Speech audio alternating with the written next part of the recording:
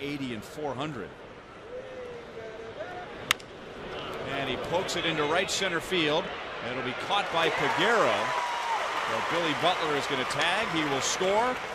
And Salvador Perez picks up his 10th RBI. And it's a 3 1 game. Behind in the count, Salvador was looking to do just that. Any off-speed pitch, he was protecting. He stretched his zone out a little bit. That's what you do with a runner in scoring position. For Salvi's just two for 17.